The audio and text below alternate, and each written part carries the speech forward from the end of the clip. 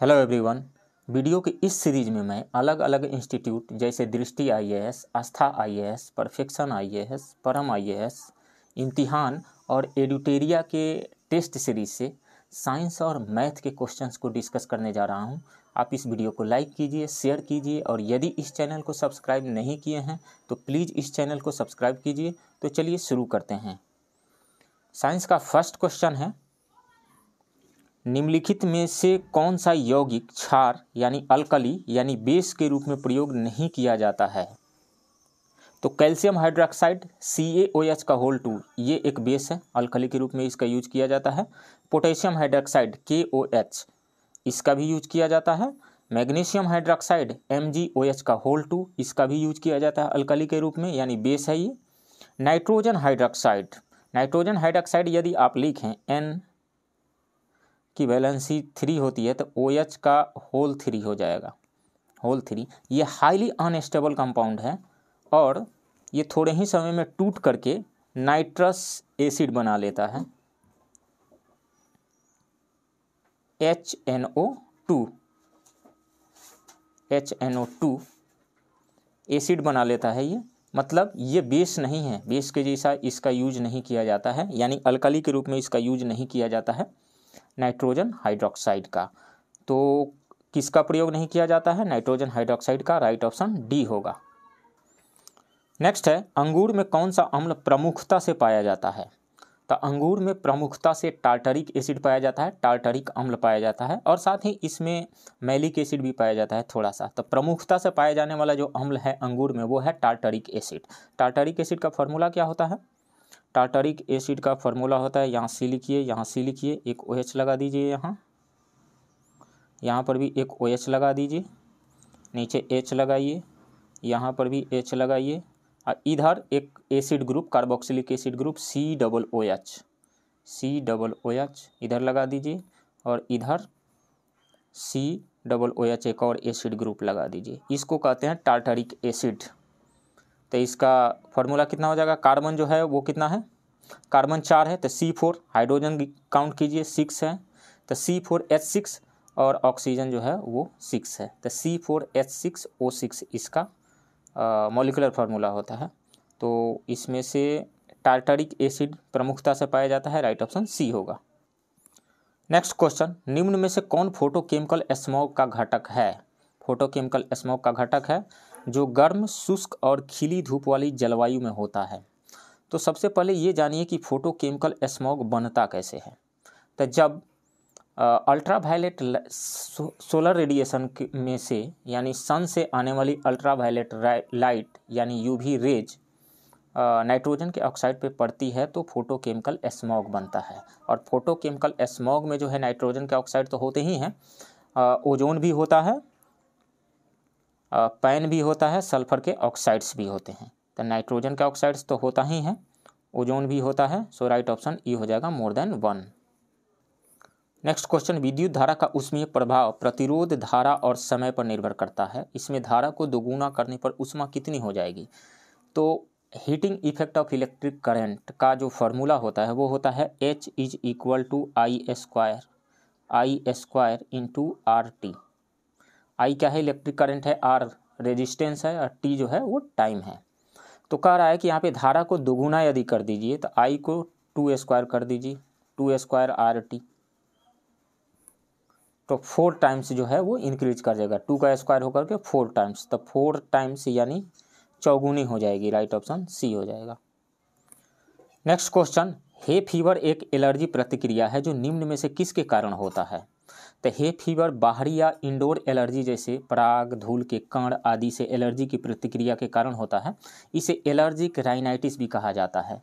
लक्षण इसमें क्या होता है? सर्दी, जुकाम, नाक बहना, आँखों में खुजली, कंजेशन, छींक आना आदि इसके लक्षण होते हैं। जब वातावरण में धूल कण ज़्यादा होता है, तब ये होता है। तो इसमें से राइट ऑप्शन कौन सा हो जाएगा? पराग। राइट ऑप्शन सी होगा। धूल कण, पराग वगैरह। नेक्स्ट क्वेश्चन निम्नलिखित में से किस हार्मोन का मानव शरीर में रक्तचाप प्रबंधन में भूमिका होती है? तो वो है वैसोप्रेसिन राइट ऑप्शन यहाँ पे ए होगा। वैसोप्रेसिन जिसे एंटी डायोरेटिक हार्मोन भी कहा जाता है पिट्यूटरी ग्लैंड में संश्लेषित होता है। यानी पिट्यूटरी ग्लैंड से स्त्रावित होता है। यह गुर्दे द्वारा पानी की धारण को बढ़ावा देने और और रक्तचाप को बढ़ाने का काम करता है। और ऑक्सीटोसिन क्या करता है? ये बच्चे के जन्म के समय दूध निकलना, मानव व्यवहार, प्रजनन प्रणाली आदि को नियंत्रित करता है ऑक्सीटोसिन और ये एड्रेनलिन क्या करता है? एड्रेनलिन आंत के कार्यों को नियंत्रित करता है। इसे लड़ाई या लड़ाई हार्मोन भी कहा जाता है। मतलब ये रहा कि इसे फाइट और फाइट हार्मोन कहा जाता है। और सेरोटोनिन सेरोटोनिन क्या करता है? सेरोटोनिन प्रमुख हार्मोन जो हमारे मूड भलाई और खुशी की भावनाओं को स्थिर करता है। नेक्स्ट क्वेश्चन कोबाल्ट किस विटामिन में पाया जाता है?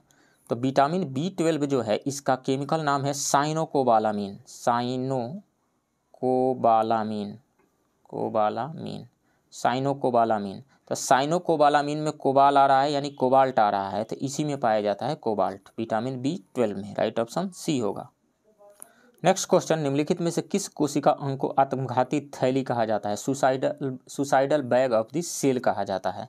तो वो है लाइसोसोम लाइसोसोम जो बना है, वो लाइसिस से बना है। लाइसिस लाइसिस का मतलब होता है खत्म कर देना, नष्ट कर देना। तो ये है लाइसोसोम इसको कहा जाता है suicidal bag of the cell यानी कोशिका की आत्मघाती थैली। राइट ऑप्शन डी होगा।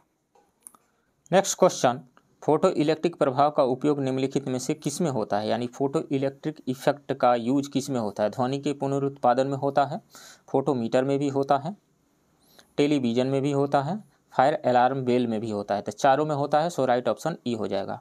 अब क्वेश्चन ये एराइज होता है कि फ़ोटो इलेक्ट्रिक इफ़ेक्ट क्या है। तो जैसे मान लीजिए ये सोलर सन है सूर्य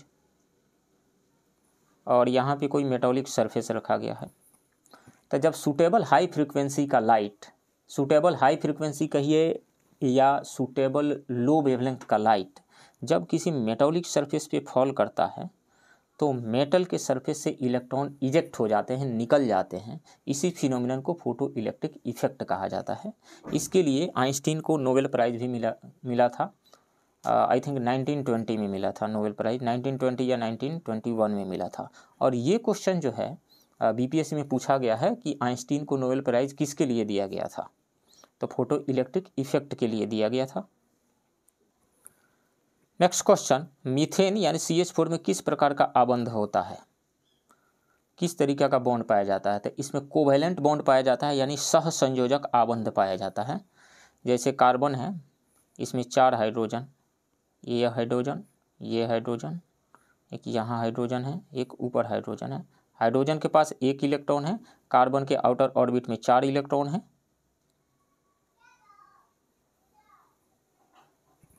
तो कार्बन जो है, चार हाइड्रोजन से इलेक्ट्रॉन को शेयर किया है। जैसे ये हाइड्रोजन जो है, एक अपना और एक कार्बन का लेकर के अपना बॉन्ड बना, अपना डुएट पूरा किया हुआ है। ये हाइड्रोजन भी एक कार्बन का एक इलेक्ट्रॉन और अपने इलेक्ट्रॉन से एक डुएट पूरा हुआ, किया हुआ है। ये भी हाइड्रोजन वहीं किया है। चारों हाइड्रोजन जो है, एक अपना इलेक्ट्रॉन और एक कार्बन के इलेक्ट्रॉन को ले करके अपना ड्यूएट पूरा हुआ किया हुआ है अप, यानी अपने आप को स्टेबल बनाया हुआ है। उसी तरीका से कार्बन जो है अपना चार इलेक्ट्रॉन और हाइड्रो चार हाइड्रोजन के एक एक इलेक्ट्रॉन ले करके अपना ऑक्टेट पूरा किया हुआ है। तो शेयरिंग से जो बॉन्ड बनता है जैसे ये जो बॉन्ड बना हुआ है ये या इस बॉन्ड इस बॉन्ड के बनने में एक इलेक्ट्रॉन कार्बन का लगा हुआ है और एक इलेक्ट्रॉन जो है हाइड्रोजन का लगा हुआ है। तो शेयरिंग से जो बॉन्ड बनता है उसको कोवेलेंट बॉन्ड कहा जाता है और मीथेन में जो है कोवेलेंट बॉन्ड ही बना हुआ है। चारों जो बॉन्ड है वो कोवेलेंट बॉन्ड यानी सह संयोजक आबंध बना हुआ है। सो राइट ऑप्शन यहाँ पे ए हो जाएगा।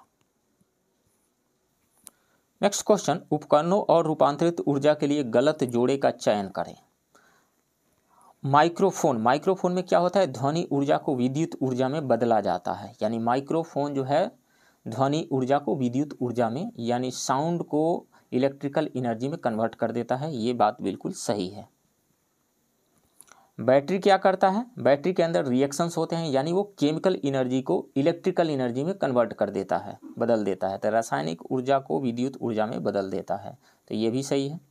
डायनेमो यानी इलेक्ट्रिक जनरेटर क्या करता है? इलेक्ट्रिक जनरेटर यांत्रिक ऊर्जा को विद्युत ऊर्जा में बदल देता है। मतलब ये रहा कि एक मैग्नेट और एक कॉयल को जब आ, उसके बीच में रिलेटिव मोशन आ जाता है यानी मैग्नेट को कॉयल के चारों तरफ़ घुमा दीजिए या फिर कॉयल को मैग्नेट के चारों तरफ़ घुमा दीजिए तो उस कॉयल में कंडक्टिंग कॉयल में एक ईएमएफ जनरेट हो जाता है। यानी वहाँ पर एक वोल्टेज जनरेट हो जाता है यानी वहाँ पर एक बैटरी बन जाता है। और जब वोल्टेज जनरेट हो गया तो इलेक्ट्रिक करंट फ्लो होगा। तो मतलब घुमाने से रोटेट करवाने से या रिलेटिव मोशन देने से यानी या, यांत्रिक कार्य करने से यांत्रिक कार्य करने से मैकेनिकल वर्क करने से वहाँ इलेक्ट्रिसिटी जनरेट हो रहा है। तो क्या कहेंगे वो वहाँ पे? यांत्रिक ऊर्जा जो है विद्युत ऊर्जा में बदल रही है। तो ये भी सही है। सितार क्या करता है? सितार यांत्रिक ऊर्जा को ध्वनि ऊर्जा में सितार पे वर्क किया जाता है और वहाँ से आवाज़ निकलती है सितार को। बजाते हैं। तो हम जो भी बजाने वाला है सितार वो क्या करता है? उस पर वर्क करता है यानी मैकेनिकल वर्क करता है यानी मैकेनिकल उसकी मैकेनिकल एनर्जी उसके द्वारा किया गया मैकेनिकल वर्क जो है ध्वनि ऊर्जा में बदल जाता है आवाज़ निकलते हैं म्यूज़िक वहाँ से निकलना शुरू हो जाता है तो ये भी सही है। सो so, इसमें से सभी सही है करेक्टली मैच्ड है सो राइट ऑप्शन ई हो जाएगा more than one next question 155 degree Fahrenheit का मान सेल्सियस में कितना होगा? तो फॉरेन हाइट और डिग्री सेल्सियस को रिलेट करने वाला जो फार्मूला होता है F minus thirty two F minus thirty two by nine is equal to C by five होता है। तो यहाँ से सी इज़ इक्वल टू हो जाएगा five by nine I into F minus thirty two F minus thirty two तो यहाँ से five by nine into F का वैल्यू दिया हुआ है वन हंड्रेड फिफ्टी फाइव यानी एक सौ पचपन, एक सौ पचपन में से बत्तीस को घटा दीजिए कितना आएगा। इधर हो गया five by nine into पाँच में से दो गया तीन, अब फिर ये बच गया पंद्रह पंद्रह में से तीन गया बारह। तो तीन से काट दीजिए, तीन चौके बारह तीन एकम, तीन इकतालीस बार में कटा, और तीन से थ्री टाइम्स में कटा। तो ऊपर हम करें तो पाँच एकम पाँच, इकतालीस में पाँच से मल्टीप्लाई करना है तो पाँच एकम पाँच पाँच चौके बीस, दो सौ पाँच हुआ, और दो सौ पाँच में तीन से हमें डिवाइड करना है। तो तीन छः अठारह दो बचा, तीनों बटे चौबीस, एक बचा, तीन तिया नौ थ्री थ्री तो कितना आ रहा है? Sixty eight point three degree Celsius. So right option यहाँ पे कितना हो जाएगा? बी होगा। ये बी में दिया हुआ है sixty eight point three degree Celsius. Next question समताप मंडल को जेट विमान उड़ाने के लिए आदर्श कहा जाता है। क्योंकि? आदर्श इसलिए माना जाता है क्योंकि वहाँ पे मौसम संबंधी घटनाएँ नहीं होती है। तो इसमें से जो डी ऑप्शन दिया हुआ है बादलों और अन्य मौसमी घटनाओं की अनुपस्थिति के कारण। ये राइट ऑप्शन यहाँ पे हो जाएगा डी। समताप मंडल बहुत शुष्क, समताप मंडल में बहुत ही शुष्क हवा होती है और इसमें जलवाष्प कम होता है और इस वजह से इस परत में कम बादल पाए जाते हैं और मौसमी संबंधी, मौसम संबंधी घटनाएँ जो है नहीं होती है, इसलिए ये सूटेबल माना जाता है जेट विमानों को उड़ाने के लिए। नेक्स्ट क्वेश्चन चंद्रमा का कितना प्रतिशत भाग पृथ्वी की सतह से दिखाई देता है? तो आमतौर पर पचास प्रतिशत भाग दिखाई देता है, लेकिन लिबरेशन की प्रक्रिया के कारण उनसठ प्रतिशत तक फिफ्टी नाइन परसेंट तक भाई, भाग दिखाई दे दे देता है, और हम देख सकते हैं। तो फिफ्टी सेवन से फिफ्टी नाइन परसेंट तक राइट ऑप्शन बी होगा। नेक्स्ट क्वेश्चन यदि किसी तार का व्यास तीन गुना कर दिया जाए तो उसका प्रतिरोध क्या होगा? तब व्यास यानी डायमीटर को थ्री टाइम्स किया जा रहा है मतलब रेडियस भी थ्री टाइम्स हो जाएगा आर भी जो है, वो थ्री टाइम्स हो जाएगा R three times three times increase किया जा रहा है। तो हम जानते हैं कि आर इज़ इक्वल टू होता है, यानी रेसिस्टेंस इज़ इक्वल टू होता है रेसिस्टेंस इज़ इक्वल टू होता है rho L by A area of cross section तो रो तो रो है एल अब by area of cross section यानी pi R square, pi R square. तो आर को जब हम थ्री टाइम्स कर देंगे, आर थ्री टाइम्स हो जाएगा तो बटे में थ्री का स्क्वायर होकर के नाइन टाइम्स हो जाएगा। तो रेसिस्टेंस क्या हो जाएगा? कम हो जाएगा वन बाई नाइन टाइम्स यानी एक बटा नौवा भाग हो जाता है। एक बटा नौवा भाग हो जाता है। सो राइट ऑप्शन यहाँ पे ए हो जाएगा प्रतिरोध का एक बटा नौवा भाग हो जाता है। नेक्स्ट क्वेश्चन निम्नलिखित में से किस जीव में पोषण का तरीका परजीवी पोषण प्रकार का होता है? परजीवी पोषण प्रकार का मतलब? पारासिटिक मोड ऑफ़ न्यूट्रिशन तो प्लाज्मोडियम एक परजीवी है और इसमें पोषण का परजीवी तरीका होता है। इन तीन, चारों में से प्लाज्मोडियम जो है एक परजीवी है पैरासाइट है और इसी में जो होता है पैरासिटिक मोड ऑफ़ न्यूट्रिशन होता है। सो राइट ऑप्शन यहाँ पे बी होगा। और ये पैरामीशियम पेंसिलियम, पेनिसिलियम, अमीबा, इन तीनों में जो है होलोजोइक प्रकार का पोषण होता है। सो राइट ऑप्शन यहाँ पे हो जाएगा बी। नेक्स्ट क्वेश्चन, अनुवंशिकी के जनक के रूप में किसे जाना जाता है? तो जॉर्ज मेंडल को जाना जाता है। मेंडल राइट ऑप्शन ए है। Father of genetics. Next question किस जानवर का दिल तीन कक्षीय होता है? यानी किस जानवर के हार्ट में थ्री चैम्बर्स होते हैं? तो मेढक के हार्ट में जो है थ्री चैम्बर्स होते हैं। थ्री चैम्बर्स मछली में दो चैम्बर होते हैं। मगरमच्छ में चार चैम्बर तोता में चार चैम्बर सो राइट ऑप्शन यहाँ पे ए हो जाएगा। मेढक के हार्ट में थ्री चैम्बर्स होते हैं। तीन चैम्बर नेक्स्ट क्वेश्चन पुष्प के नर भाग को कहते हैं। तो पुष्प के नर भाग को पुंकेसर कहा जाता है राइट ऑप्शन सी होगा। पुमंग पुंकेसर से बना होता है। प्रत्येक पुंकेसर को नर प्रजनन अंग का प्रतिनिधित्व करता है। प्रत्येक पुंकेसर जो नन प्रजनन अंग का प्रतिनिधित्व करता है, में एक डंठल या एक रेशा और एक परागकोश होता है। बाह्य दल यानी कैलिक्स पुष्प का सबसे बाहरी भाग होता है। कोरोला पंखुड़ियों से बना होता है। स्त्री केसर पुष्प का मादा भाग होता है। नेक्स्ट क्वेश्चन मानव शरीर में पसलियों के कितने जोड़े होते हैं? तो बारह जोड़े होते हैं राइट ऑप्शन सी होगा। नेक्स्ट क्वेश्चन पेंसिल द्वारा लिखे शब्दों को मिटाने के लिए जिस रबड़ का प्रयोग किया जाता है, वह मूलतः होता है। क्या होता है? तो वो विनाइल रबड़ होता है। विनाइल। राइट ऑप्शन ए होगा। नेक्स्ट क्वेश्चन निम्नलिखित में से किस धातु का परमाणु द्रव्यमान उच्चतम होता है? तो लेड का परमाणु द्रव्यमान जो होता है प्लेटिनम का होता है एक सौ पंचानवे दशमलव ज़ीरो नौ। एक सौ यानी वन नाइन्टी फाइव ले लीजिए। मरकरी का कितना होता है?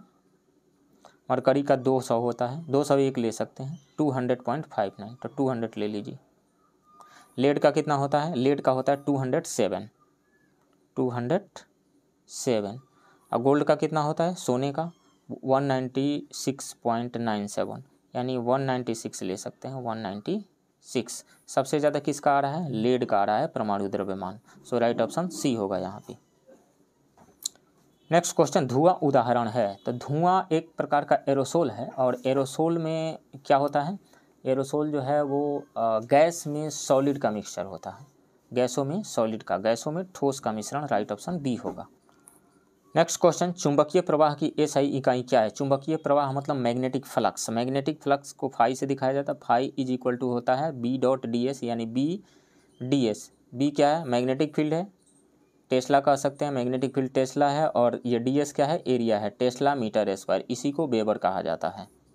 सो राइट ऑप्शन ए होगा। नेक्स्ट क्वेश्चन निम्नलिखित में से कौन एक अधातु है जो कमरे के तापमान पर तरल रहती है? तो पूरे पेरियोडिक टेबल को आप देखेंगे तो पेरियोडिक टेबल में एक ही मात्र अधातु ब्रोमीन है जो लिक्विड फ़ेज़ में पाई जाती है। कोई भी ऐसा अदर नॉन मेटल नहीं है जो लिक्विड फ़ेज़ में पाया जाता होगा रूम टेम्परेचर पे। तो आंसर जो हो जाएगा वो सी होगा ब्रोमीन नेक्स्ट क्वेश्चन रेयान रासायनिक रूप से है तो रेयान रासायनिक रूप से सेलुलोज होता है। राइट ऑप्शन डी होगा। रेयान पुनर्जीवित सेल्यूलोज से प्राप्त फाइबर है, जो आमतौर पर लकड़ी के गूदे से प्राप्त होता है। रेयान आमतौर पर यूकेलिप्टिस के पेड़ों से बनाया जाता है, लेकिन बाँस, कपास आदि जैसे किसी भी पौधे का उपयोग किया जा सकता है। इसकी आणविक संरचना, यानी मोलिकुलर जो स्ट्रक्चर होता है, वो सेल्यूलोज के समान होता है। नेक्स्ट क्वेश्चन सूर्य अपनी ऊर्जा प्राप्त करता है। हीलियम नाभिक के विखंडन से नहीं, हाइड्रोजन नाभिक के विखंडन से बिल्कुल नहीं। हाइड्रोजन नाभिक का हीलियम नाभिक में संलयन से, ये सही है। हाइड्रोजन नाभिक में हीलियम नाभिक का संलयन से, हाइड्रोजन नाभिक में हीलियम नाभिक का संलयन से नहीं, ये भी गलत है। तो तीन गलत है, सी सही है यहाँ पे। सन के कोर के अंदर चार हाइड्रोजन की न्यूक्लियाई मिल करके हीलियम के न्यूक्लियस बनाते हैं और उसमें जो मास में जो डिफेक्ट आता है, जो द्रव्यमान में जो कमी आती है, वही ऊर्जा में परिवर्तित हो जाती है। अब क्वेश्चन ये अराइज होता है कि न्यूक्लियर फ्यूजन यानी नाभिकीय संलयन रिएक्शन क्या होता है? तो जब दो या दो से अधिक छोटे न्यूक्लियाई दो या दो से अधिक छोटे न्यूक्लियाई मिल करके एक बड़े न्यूक्लियस को बनाते हैं तो अब सवाल ये है कि बड़े न्यूक्लियस बन जाने से ऊर्जा कहाँ से निकल जाती है? तो यदि आप इन दोनों छोटे न्यूक्लियाई के मास को आप जोड़ें और बड़े न्यूक्लियस बड़ा न्यूक्लियस जो बना हुआ है, इसके मास को देखें तो आप पाएँगे कि जो बड़ा न्यूक्लियस बना हुआ है, उसका मास इन दोनों छोटे न्यूक्लियाई के सम ऑफ़ मासेस से कम ही है।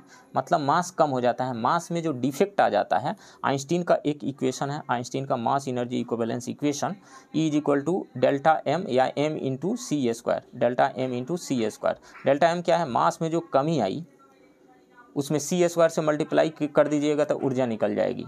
तो जो मास में जो कमी आ रही है, उसी के फलस्वरूप ऊर्जा निकलता है नाभिकीय संलयन में।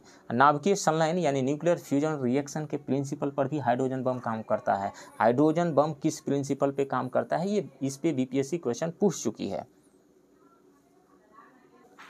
नेक्स्ट क्वेश्चन घरेलू विद्युत वायरिंग मूल रूप से एक है। तो घरेलू विद्युत वायरिंग क्या है? क्या सीरीज़ कनेक्शन है या फिर पैरेलल कनेक्शन है? या फिर दोनों हैं? तो वो है एक समानांतर कनेक्शन यानी पैरेलल कनेक्शन होता है। अब देख लेते हैं कि क्यों पैरेलल कनेक्शन है सीरीज़ कनेक्शन क्यों नहीं है। तो सीरीज़ कनेक्शन मान लीजिए सीरीज़ कनेक्शन है। एक रेसिस्टेंस यहाँ पे है, एक रेसिस्टेंस यहाँ पे है, एक रेसिस्टेंस यहाँ पे है। मान लीजिए, ये एक बल्ब है। बल्ब हमने लिया, एक टेलीविज़न लिया, और एक फ्रिज ले लिया, और इसमें करंट फ्लो करा रहे हैं। यदि सीरीज़ में कनेक्टेड है ये किसी कारणवश यदि बल्ब खराब हो जाता है तो ख़राब हो जाएगा तो फिर यहाँ से इस टेलीविज़न के पास में करंट पहुँचेगा ही नहीं, फ्रिज के पास में भी करंट पहुँचेगा ही नहीं तो टेलीविज़न भी बंद रहेगा और फ्रिज भी बंद रहेगा, काम करना बंद कर देगा। तो इसलिए इसको सीरीज़ कनेक्शन में हम नहीं जोड़ेंगे। अब पैरेलल कनेक्शन में देख लीजिए, पैरेलल कनेक्शन क्या होता है? एक रेसिस्टेंस ये है। इसके पैरेलल में एक रेसिस्टेंस जोड़ दीजिए। और यहाँ से सप्लाई अब दे दीजिए। यहाँ से सप्लाई। तो सप्लाई जब हम देते हैं तो यहाँ पे वोल्टेज दोनों के अक्रॉस जो वोल्टेज है, यानी पोटेंशियल डिफरेंस यानी विभवांतर जो होता है सेम रहता है। जितने भी रेसिस्टेंसेस जितने भी डिवाइसेस हैं, यदि पैरेलल में कनेक्टेड हैं तो उनके अक्रॉस जो पोटेंशियल डिफरेंस होगा, यानी विभवांतर जो होगा, यानी वोल्टेज जो होगा, वो सेम रहता है। पहला कारण तो ये है। दूसरा कारण यह है कि किसी कारण बस ये, मान लीजिए ये डिवाइस यदि ख़राब हो जाता है तो इसके थ्रू तो करंट जाएगा ही जाएगा। आगे तो जाएगा ही और आगे जितने भी डिवाइसेस कनेक्टेड हैं वो अपने आ, अपना काम करते रहेंगे। इसलिए तो पैरेलल कनेक्शन देने का कारण क्या है? दो कारण हैं। एक तो पोटेंशियल डिफरेंस हर एक डिवाइसेस के क्रॉस सेम रहेगा वोल्टेज सेम रहेगा और दूसरा कोई एक डिवाइस खराब हो जाता है तो भी करंट बाधित नहीं होगा। तो क्या है ये? समानांतर कनेक्शन यानी पैरेलल कनेक्शन है राइट ऑप्शन बी होगा। Next question stainless steel pan के नीचे तांबे का लेप क्यों लगाए जाते हैं? तो तांबे का लेप क्यों लगाया जाएगा? पैन में, यानी पैन जो है उसके पेंदी में तांबा क्यों लगाया जाता है? इसलिए लगाया जाता है कि तांबे की जो विद्युत चालकता है, विद्युत नहीं थर्मल कंडक्टिविटी जो है थर्मल कंडक्टिविटी जो है वो ज़्यादा है स्टेनलेस स्टील के कंपेरिजन में। तो अब देखिए, गैस, मान लीजिए ये गैस का बर्नर है, ये गैस का बर्नर है और यहाँ पे कोई हम बर्तन रख रहे हैं, पैन चढ़ाए हुए हैं, कोई बर्तन रख रहे हैं तो यहाँ वाला जो पोर्शन है इस पे कॉपर लगा दिया जाता है। कॉपर लगा देने से मान लीजिए इसमें हम दूध गर्म कर रहे हैं, दूध इसमें गर्म कर रहे हैं तो यहाँ पे बर्नर से जो हीट आ रहा है, क्या करेगा ये? कॉपर लगा दिए तो कॉपर आसानी से दूध को ट्रांसफ़र कर देगा हीट तो इसलिए ज़्यादा कंडक्ट कंडक्टिव मटेरियल थर्मली जो ज़्यादा गुड कंडक्टर हो, उसको, उसका यूज़ किया जाता है, पेंदी में बॉटम में लगाया जाता है। तो तांबे की चालकता स्टेनलेस स्टील से अधिक है, यही कारण है कि स्टील स्टेनलेस स्टील के पैन के नीचे तांबे का लेप लगाया जाता है। राइट ऑप्शन बी होगा। तो डियर एस्पिरेंट्स ये रहा साइंस के थर्टी क्वेश्चंस का डिस्कशन अब हम मैथ के क्वेश्चन को डिस्कस करते हैं। मैथ का क्वेश्चन नंबर वन शांत जल में एक नाव की गति पंद्रह किलोमीटर घंटा है। शांत जल में स्टील वाटर में। और धारा की गति पाँच किलोमीटर घंटा है। तो धारा के अनुकूल यदि कोई नाव चलेगा तो उसकी गति क्या हो जाएगी? पंद्रह प्लस पाँच, यानी बीस किलोमीटर प्रति घंटा। और धारा के विपरीत के कितनी हो जाएगी? पंद्रह माइनस पाँच, यानी दस किलोमीटर प्रति आवर। नाव धारा के प्रतिकूल साठ किलोमीटर और धारा के अनुकूल समान दूरी कितने समय में तय करेगी? मतलब ये रहा कि धारा के अनुकूल जा कर के धारा के प्रतिकूल फिर आने में कितना टाइम लगेगा उसको? साठ किलोमीटर। प्रतिकूल साठ किलोमीटर मतलब साठ किलोमीटर गया और साठ किलोमीटर आई। नाव तो कितना टोटल कितना टाइम लगा उसको? तो speed of boat upstream यानी धारा के प्रतिकूल, धारा के प्रतिकूल नाव की चाल कितनी हो जाएगी? पंद्रह माइनस पाँच, यानी दस किलोमीटर पर आवर और धारा के अनुकूल कितनी हो जाएगी? यानी speed of boat downstream कितनी हो जाएगी? पंद्रह प्लस पाँच, बीस किलोमीटर पर आवर तो जाने में कितना टाइम लगेगा? साठ किलोमीटर जाना है, साठ किलोमीटर आना है। तो साठ किलोमीटर धारा के अनुकूल जाने में साठ बटा बीस, यानी कितनी घंटा? तीन घंटा। और धारा के प्रतिकूल साठ बटा दस, कितना? छः घंटा। तो टोटल कितना हो गया? छः प्लस तीन, नौ घंटा। नाइन आवर्स, ऑप्शन सी सही होगा यहाँ पे। नेक्स्ट क्वेश्चन, एक राशि चार वर्षों में चक्रवृद्धि ब्याज, वार्षिक चक्रवृद्धि ब्याज पर स्वयं का तीन गुना हो जाती है। तो नौगुनी होने में इसी ब्याज पर इसी समान दर से कितने वर्षों में यह स्वयं का नौगुनी हो जाएगी? चार वर्षों में तीन गुनी हो जाती है तो कितने वर्षों में नौगुनी हो जाएगी? तो हम मान लेते हैं कि प्रिंसिपल यानी मूलधन जो है वो पी है। तो चार वर्षों में तीन गुना हो जा रहा है तो जानते हैं कि कितना होता है? ए इज़ इक्वल टू होता है P into one plus R by hundred to the power N यानी टी कह दीजिए। क्या होता है? A is equal to P into A is equal to P into one plus R by hundred to the power time N कहिए या T कहिए, ये फार्मूला होता है। इस फार्मूला में पुट कीजिए, तीन गुना हो गया। तीन गुना हो गई राशि तो थ्री पी कर दीजिए। P into one plus R by hundred का पावर फोर यहाँ से तो पी से पी कट गया थ्री इधर बचा। तो ये वाला जो पावर है फोर इधर आएगा तो वन बाई फोर पावर बन जाएगा थ्री का। तो हमने क्या किया? वैल्यू निकाल लिया, one plus R by hundred का वैल्यू, थ्री का power one by four equation one कह दिया। अब दूसरी तरफ़ कह दी, देख लीजिए, कह रहा है कि कितने टाइम में नौगुनी हो जाएगी, नाइन टाइम्स हो जाएगी। तो हमने क्या किया? पी का नाइन टाइम्स कर दिया। अब P into one plus R by hundred का पावर टी कर दिया। मान लिया कि टी टाइम में हो जाती है। तो अब देखिए, ये पी से पी कट गया यहाँ पे। पी से पी कट गया, इधर नाइन बचा। तो नाइन को क्या लिख सकते हैं? थ्री का स्क्वायर हम लिख सकते हैं। इधर हो गया one plus R by hundred का पावर टी। अब one plus R by hundred का वैल्यू हम निकाल चुके हैं थ्री का पावर वन बाई फोर। तो इसके जगह पर हम रख रख दे रहे हैं थ्री का पावर वन बाई फोर और इसका पावर है टी। तो किसी भी नंबर का पावर का पावर हो तो पावर पावर में मल्टीप्लाई हो जाता है।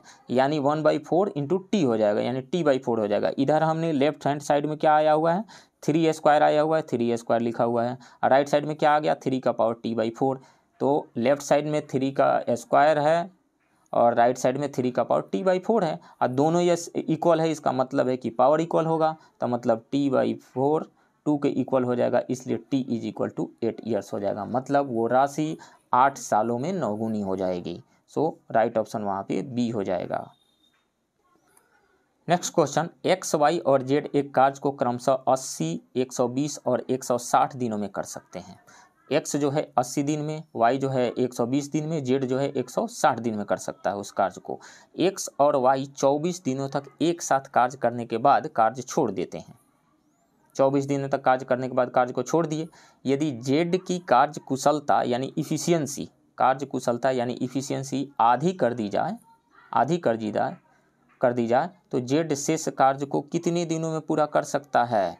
यानी उसकी एफिशिएंसी जेड की एफिशिएंसी यदि हाफ़ हो जाए तो जेड जो है, बाकी कार्य को कितने दिनों में पूरा कर सकता है? तो हम जानते हैं कि वर्क इज़ इक्वल टू होता है टाइम इंटू इफिशियंसी यानी कार्य इज़ इक्वल टू होता है समय इंटू दक्षता, कार्य कुशलता। तो अब इफिशियंसी ऑफ़ एक्स यानी एक्स की दक्षता, यानी कार्य कुशलता कितनी हो जाएगी? वन बाई एटी और वाई की कार्य कुशलता कितनी हो जाएगी? One by one hundred twenty. और जेड की कार्य कुशलता कितनी हो जाएगी? One by one hundred sixty. अब देखिए एक्स और वाई मिलकर चौबीस दिन में वर्क का कितना पार्ट कंप्लीट करेंगे? एक्स और वाई दोनों मिलकर के चौबीस दिन में काम का कितना परसेंट कंप्लीट करेंगे? तो हम जानते हैं कि वर्क का, का जो पार्ट होता है वो होता है टाइम इंटू इफिशियंसी तो टाइम कितना दिया हुआ है? चौबीस घंटा। तो ए का निकाल लीजिए, चौबीस इंटू एक बटा अस्सी इफिशियंसी यानी work into efficiency time into efficiency चौबीस इंटू एक बटा अस्सी। प्लस बी का वाई का निकाल लीजिए, चौबीस इंटू एक बटा एक सौ बीस। तो इतने पार्ट को कंप्लीट कर लेंगे दोनों मिल करके चौबीस दिन में। तो चौबीस कमन ले लीजिए, चौबीस कमन ले लेते हैं तो one by eighty one by one hundred twenty हो गया। अब यहाँ से अस्सी और एक सौ बीस में क्या शामिल है? चालीस चालीस दूना अस्सी होता है, चालीस, चार तियाँ, बारह, एक सौ बीस होता है। तो चालीस इसमें कॉमन है, अस्सी और एक सौ बीस में तो हमने क्या किया? चालीस बाहर ले लिया। यानी चौबीस बटा चालीस हो गया। अंदर क्या बचा? इसमें से चालीस ले लेंगे तो यहाँ बच जाएगा वन बाई टू और इसमें से चालीस कॉमन ले लेंगे तो वन बाई थ्री हो जाएगा। यानी twenty four by forty into one by two plus one by three हो गया। एलसीएम कितना हो जाएगा? टू और थ्री का सिक्स हो गया। तो ऐड करेंगे तो हो जाएगा थ्री प्लस टू, यानी फाइव ऊपर में आ जाएगा। इधर हमने क्या किया हुआ है? चौबीस बटा चालीस तो आठ से काट दीजिए। आठ तियाँ चौबीस चौबीस थ्री बार में कटेगा और चालीस जो है, आठ पच्चीस चालीस, यानी तीन बटा पाँच तो तीन बटा पाँच हमने लिख दिया। उसके बाद में पाँच ऊपर आया हुआ है तो पाँच से पाँच कट गया। बच गया क्या? और तीन से छः कट गया, दो, यानी हाफ़ पार्ट, यानी आधा काम को कर लेंगे। एक्स और वाई चौबीस दिनों में मिल कर, एक्स और वाई मिल करके चौबीस दिन में कितना कार्य कर लेंगे? हाफ़ पार्ट कर लेंगे। तो अब एक्स और वाई दोनों मिलकर के आधा काम को कर लिए। तो बचा कितना? रिमेनिंग वर्क जो बचा हुआ काम कितना बचा? आधा काम अभी भी बचा हुआ है। हाफ़ पार्ट बचा हुआ है। अब जेड की इफिशियंसी कितनी हो गई? हाफ़ हो गई। पहले जेड की इफिशियंसी कितनी थी? One by one hundred sixty थी। अब हाफ़ हो गई तो वन बाई तीन सौ बीस हो गई अब इफिशियंसी जेड की। अभी हमने देखा work is equal to efficiency into time efficiency into time तो टाइम इज़ इक्वल टू क्या होगा? वर्क बाई इफिशियंसी होगा। तो जेड की, जेड कितने दिनों में काम कंप्लीट करेगा, ये निकालने के लिए हम क्या करेंगे? रिमेनिंग वर्क जो काम बचा हुआ है, उसमें जेड की इफिशियंसी से क्या करेंगे? हम डिवाइड कर देंगे। तो बचा हुआ काम अभी हाफ़ पार्ट बचा हुआ है, और जेड की इफिशियंसी अब हो गई है one by three hundred twenty तो one by two and two three hundred twenty by one हो जाएगा, यानी three hundred twenty by two एक सौ साठ डेज़ यानी बचे हुए काम को जेड जो है, जब इफिशियंसी उसकी हाफ़ हो जाती है तो वो 160 दिन में पूरा कर लेगा। राइट ऑप्शन यहाँ पे सी होगा। नेक्स्ट क्वेश्चन है, ए एक ऐसी वस्तु बेचता है जिसकी कीमत पाँच सौ रुपये है और वह बी को बीस परसेंट परसेंट के लाभ पर बेचता है। मतलब ए पाँच सौ रुपये में खरीदी हुई वस्तु को बीस परसेंट के लाभ पर बी को बेच देता है। अब बी क्या करता है? बी जो है, इसे सी को बेचता है। और ए को भुगतान की गई कीमत पर दस प्रतिशत का लाभ मतलब बी जो है सी को दस प्रतिशत लाभ लेकर के बेच देता है। तो सी बी को कितना भुगतान करता है? ये निकालना है। तो देखिए कॉस्ट प्राइस ऑफ़ ए यानी ए का क्रय मूल्य दिया हुआ है पाँच सौ रुपया। तो ए का विक्रय मूल्य कितना हो जाएगा? जो ए का विक्रय मूल्य होगा, वहीं बी का क्रय मूल्य होगा। यानी कॉस्ट प्राइस ऑफ़ बी जो होगा सेलिंग प्राइस ऑफ़ ए होगा, यानी मतलब ये रहा कि बी का जो क्रय मूल्य होगा, ए के विक्रय मूल्य के बराबर होगा, और वो कितना होगा? बीस प्रतिशत के लाभ पर बेचता है तो हम क्या करेंगे? पाँच सौ प्लस पाँच सौ का बीस परसेंट निकाल देंगे। तो ये कितना आ जाएगा? बीस से सौ पाँच बार में कटेगा, अब पाँच से पाँच सौ सौ बार में कटेगा तो आ गया पाँच सौ प्लस सौ, यानी छः सौ। मतलब ए का जो विक्रय मूल्य हुआ, यानी बी का क्रय मूल्य जो हुआ, वो छः सौ रुपया होगा। अब इस 600 का 10 प्रतिशत लाभ लेकर के ये सी को बेच देता है बी तो कॉस्ट प्राइस ऑफ़ सी यानी एक सी का जो क्रय मूल्य होगा, वो बी के विक्रय मूल्य के बराबर होगा सेलिंग प्राइस ऑफ़ बी और वो कितना हो जाएगा? 600 प्लस 600 का 10 परसेंट। दस परसेंट वो लाभ लेकर के बेचता है। तो 600 प्लस 600 का 10 परसेंट। अब यहाँ से एक ज़ीरो से एक ज़ीरो काट दीजिए।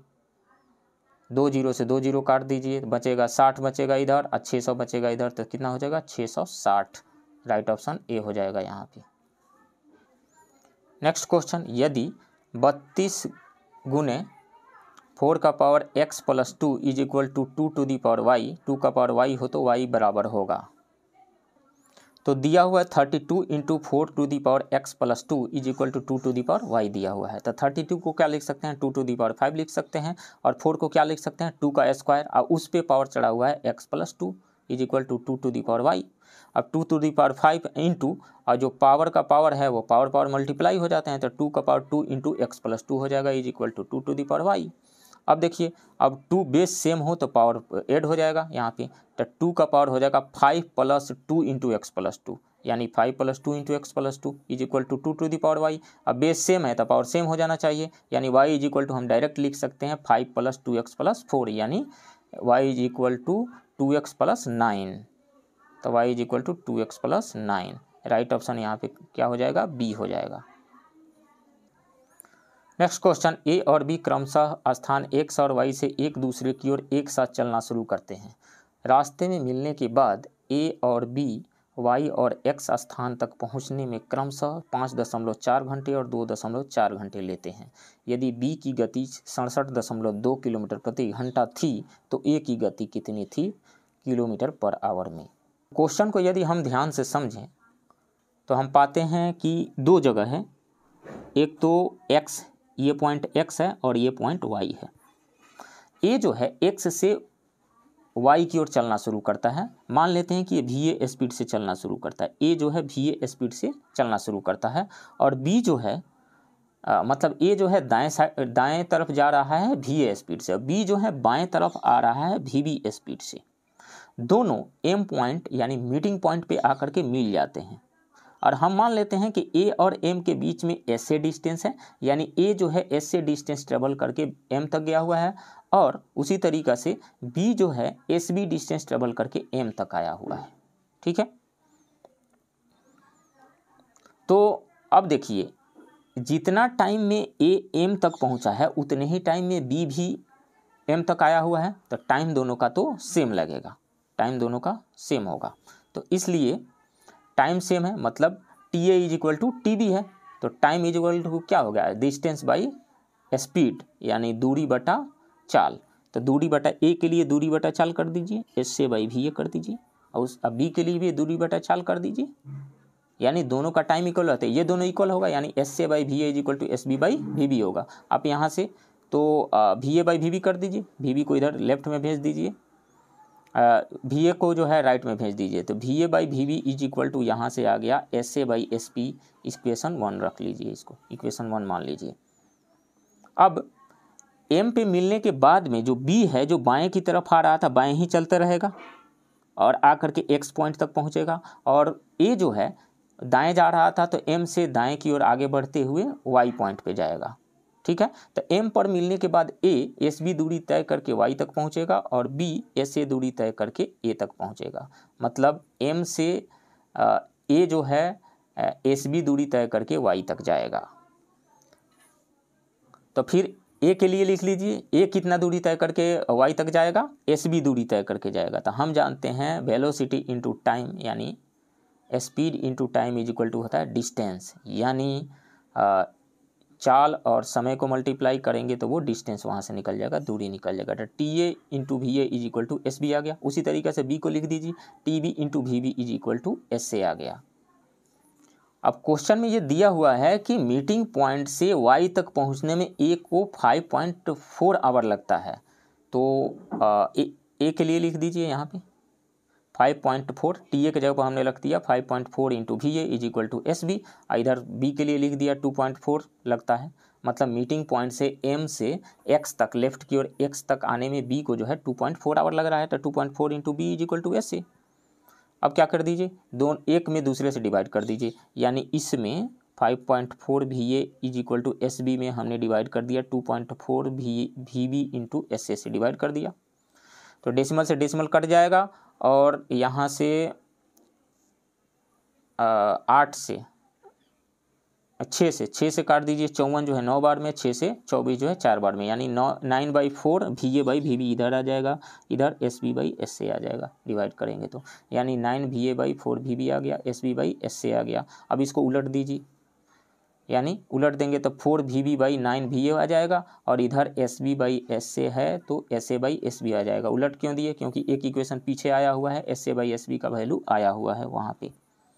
तो अब दोनों इक्वेशन से S A by S B जो है, दोनों इक्वेशन से तो ये four B by nine A जो हो जाएगा, उधर जो आया हुआ है V A by V B V A by V B, ये V A by V B के इक्वल हो जाएगा। अब क्रॉस मल्टीप्लिकेशन कर दीजिए। क्रॉस मल्टीप्लिकेशन करेंगे तो V A square by V B square is equal to four by nine आएगा। यानी V A by V B is equal to under root four by nine four का root two और nine का three यानी V A by V B का value जो आ जाएगा टू बाई थ्री आ जाएगा। इसलिए V A is equal to कितना आ जाएगा? Two by three V B तो two by three V B का वैल्यू दिया हुआ है सिक्सटी सेवन पॉइंट टू तो काट दीजिए थ्री से twenty two point four times में कटेगा। दो से ट्वेंटी टू पॉइंट फोर में हम मल्टीप्लाई कर देंगे तो फोर्टी फोर पॉइंट एट आएगा। Kilometre per hour. इसलिए राइट ऑप्शन सी होगा यहाँ पे। Next question A B C D और एफ़ को कितने अलग तरीके से इस तरह व्यवस्थित किया जा सकता है कि डी और एफ़ हमेशा एक साथ हों? ये परमुटेशन एंड कम्बिनेशन का इनफैक्ट परमुटेशन का क्वेश्चन है। तो इसमें से छः है। ए बी सी डी और डी ई e और एफ़ तो A B C D E and F है। कह रहा है कि इस तरीका से इसको अरेंज करना है, व्यवस्थित करना है कि डी ई e और एफ़ तीनों एक साथ है तो हम क्या करते हैं? रस्सी से बाँध देते हैं तीनों को। डी ई e और एफ़ को रस्सी से बाँध देंगे तो एक हो गए। तो इसको एक काउंट कर लीजिए। और ए बी सी ये तीन हो गए। तो तीन टोटल अब कितने हो गए नंबर तीन, एक, चार। चार चीज़ों को आपस में परमुटेट करेंगे कितने बार में? फैक्टोरियल फोर टाइम्स में। तो इन चारों को फैक्टोरियल फोर टाइम्स में हमने इसको परमुटेट कर दिया। अब ये इन तीनों को भी तो आपस में अरेंज कर सकते हैं ना। डी पहले है ई e उसके बाद एफ़ उसके बाद में एफ़ पहले आ जाएगा। एफ़ ई डी भी हो सकता है एफ़ डी ई भी हो सकता है, वो भी एक अरेंजमेंट हो सकता है। तो इन तीनों के रस्सी को अब खोल के इनको आपस में परमुटेट कर दीजिए। तो परमुटेट करेंगे तो कितने बार में? फैक्टोरियल थ्री बार में। तो अब इसका वैल्यू कितना हो जाएगा? फैक्टोरियल फोर का four into three into two factorial three का हो जाएगा थ्री इंटू टू तो इधर हो गया सिक्स यहाँ हो गया सिक्स छत्तीस छत्तीस में चार से मल्टीप्लाई करेंगे तो कितना हो जाएगा? एक सौ चौवालीस। राइट ऑप्शन यहाँ पे हो जाएगा बी नेक्स्ट क्वेश्चन श्रृंखला पाँच, छ, आठ एक्स ट्वेंटी थर्टी सिक्स में एक्स का स्थान पर क्या है? तो अब देखिए। इसमें पाँच से छः एक जोड़ा गया है। पाँच से छः जाने में कितना जोड़ा गया है? एक जोड़ा गया है। और छः से आठ जाने में दो जोड़ा गया है। तो यहाँ एक जोड़ा गया है, यहाँ पे दो जोड़ा गया तो एक इंटू टू जोड़ दिया, आठ हो गया छः में। अब टू इंटू टू करके जोड़ दीजिए। इसमें पैटर्न तो यहीं चल रहा है ना? तो इसमें एट से एक्स तक जाने में टू इंटू टू करके जोड़िए आप। तो टू इंटू टू कितना हो गया? फोर हो गया। आठ में फोर जोड़ेंगे तो कितना हो जाएगा? बारह आ जाएगा। मतलब एक्स का वैल्यू बारह। अब फिर क्या करेंगे? बारह में आ, जो यहाँ फोर आया हुआ है फोर इंटू टू एट जोड़ देंगे तो बीस आ जाएगा। ठीक है? अब बीस में क्या आया है? एट आया हुआ है तो एट इंटू सोलह जोड़ देंगे तो छत्तीस आएगा। ठीक है? तो यहाँ पे बारह आंसर हो जाएगा। राइट ऑप्शन ए होगा। नेक्स्ट क्वेश्चन यदि आयत की लंब आयत की चौड़ाई तीस सेंटीमीटर और आयत का विकर्ण दो two X minus ten centimetre है। यदि आयत का क्षेत्रफल बारह सौ वर्ग सेंटीमीटर है तो एक्स का मान क्या होगा? यहाँ पर आयत की चौड़ाई यानी बी का वैल्यू दिया हुआ है। आयत का विकर्ण यानी डायगोनल डी का वैल्यू दिया हुआ है और इसका एरिया दिया हुआ है, एल इंटू बी का वैल्यू दिया हुआ है यहाँ पे। तो आयत की चौड़ाई कितनी दी हुई है? Thirty centimetre. और एरिया कितना दिया हुआ है? एल बी, बारह सौ स्क्वायर सेंटीमीटर। तो एल एल का वैल्यू कितना हो जाएगा? बारह सौ बाई बी। तो बारह सौ twelve hundred by thirty cut करके फोर्टी सेंटीमीटर आ गया। अब हम डायगोनल इज़ इक्वल टू कितना होता है? Under root L square plus B square. और इस डायगोनल का वैल्यू दिया हुआ है two X minus ten. Under root यहाँ पे देख लीजिए, तीस का स्क्वायर प्लस बीस का चालीस का स्क्वायर करेंगे तो देखिए यहाँ पे, हम जानते हैं कि जो पाइथागोरस थ्योरम में कम्बिनेशन जो होता है थ्री फोर एंड फाइव का होता है। मतलब थ्री का स्क्वायर फोर का स्क्वायर फाइव के स्क्वायर के इक्वल होगा। तो यहाँ पर देख लीजिए थ्री का थ्री का टेन टाइम्स किया गया है, फोर का टेन टाइम्स किया गया है। तो इसका जो वैल्यू आएगा, वो कितना आएगा? फाइव टाइम्स आएगा। मतलब पचास आएगा। तो मतलब इसका वैल्यू हम निकालेंगे तो कितना आएगा? पचास आएगा। तो पचास आ गया और इधर टू एक्स माइनस टेन तो पचास is equal to two X minus ten या आप ऐसे नहीं जानते हैं तो thirty square plus forty square का रूट ही निकाल लीजिए। पच्चीस सौ आएगा, पच्चीस सौ का स्क्वायर रूट निकालेंगे तो पचास आएगा। तो fifty is equal to two X minus ten आ गया। तो two X is equal to fifty plus ten हो गया।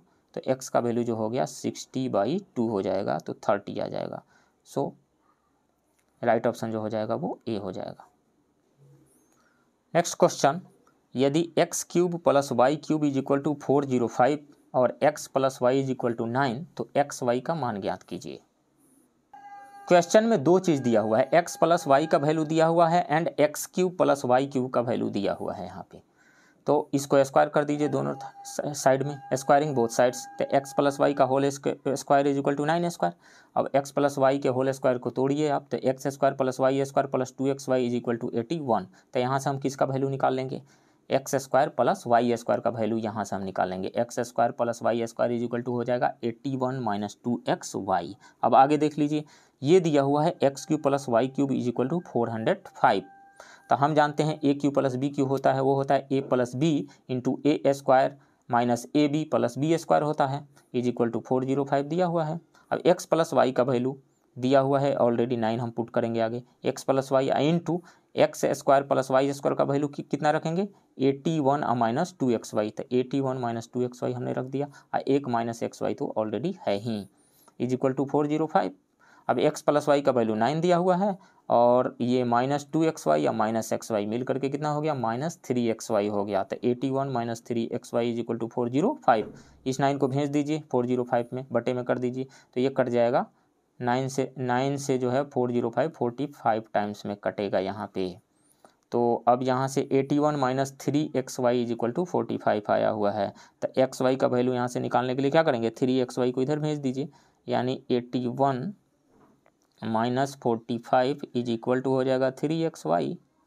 तो एक्स वाई का वैल्यू निकालने के लिए थ्री को इधर बटे में भेज देंगे, यानी eighty one minus forty five by three. Eighty one में से फोर्टी फाइव घटेगा थर्टी सिक्स होगा बाई थ्री, यानी बारह हो जाएगा, राइट ऑप्शन ए हो जाएगा। तो फ्रेंड्स, ये रहा साइंस के थर्टी क्वेश्चन का डिस्कशन और मैथ के टेन क्वेश्चन का डिस्कशन। आप बने रहिए इस चैनल के साथ, मिलते हैं किसी दूसरे वीडियो में। तब तक के लिए thank you thank you very much